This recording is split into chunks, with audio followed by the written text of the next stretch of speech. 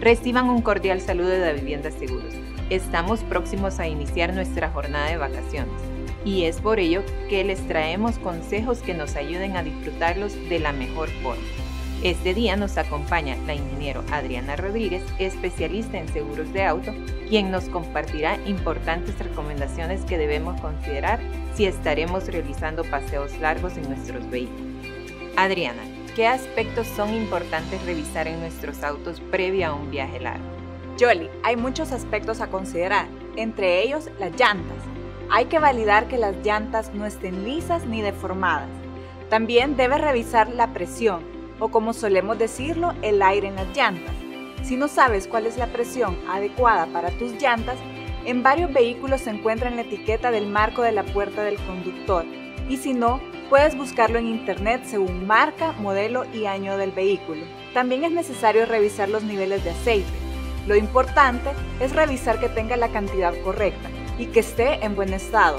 También hay que ver el líquido de los frenos y el líquido refrigerante se recomienda que no sea agua porque oxida el metal y no estaría de más revisar el líquido para limpiar el parabrisas.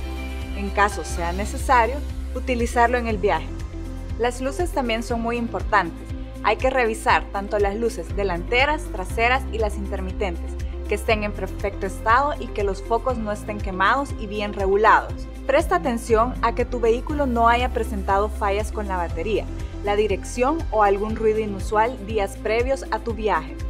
Gracias Adriana. ¿Y qué consejos nos puedes brindar para los conductores? A los conductores podemos brindarles varios consejos, entre ellos, antes de iniciar el viaje, deben haber descansado lo suficiente.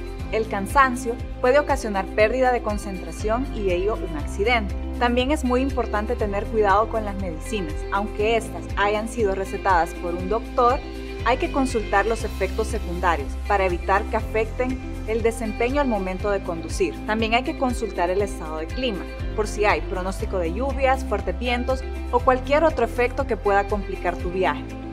Otro aspecto muy importante es que no debemos consumir bebidas alcohólicas.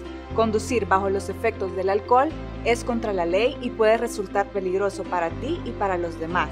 También hay que llevar calzado cómodo preferiblemente no usar tacones ni sandalias, ya que puede dificultar si es necesario frenar de imprevisto. Hay que revisar que llevemos la tarjeta de circulación y licencia de conducir vigentes.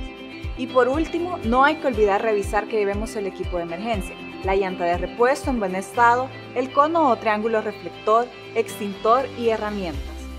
Muchas gracias Adriana por estos importantes consejos para que podamos disfrutar aún más nuestras vacaciones y a nuestra familia. Desde La Vivienda Seguro les enviamos un afectuoso saludo y les recordamos buscar más consejos en nuestro canal de YouTube La Vivienda El Salvador.